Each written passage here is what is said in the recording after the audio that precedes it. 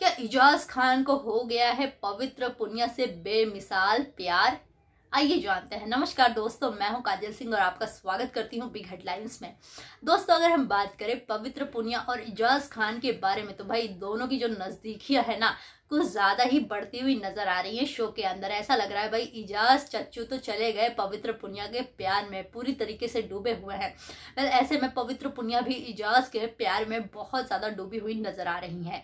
अभी हाल ही में एक प्रोमो सामने आया है, जहाँ पे इजाज खान जो है, अपनी जो दिल की बात है, वो अपने लफ्जों तक लाने की पूरी कोशिश कर रहे हैं। यानी कि पवित्र पुनिया को ये बताने की कोशिश कर रहे हैं कि वो उनके लिए फील करने लग गए हैं। शो में हमने कई दफ़ा देखा कि इजाज और पवित्रा एक दूसरे को किस करते हुए, हक करते हुए स्पेशल टाइम एक दूसरे के साथ बिताते हुए नज़र आ रहे थे। ऐसे में एक बार अली गोनी ने इन दोनों को किस करते हुए रंगे हाथ पकड़ भी लिया था, जिसके बाद अली ने पूरे घर में ढोल बजा के ये बता दिया कि पवित्रा और यश किस कर रहे थे।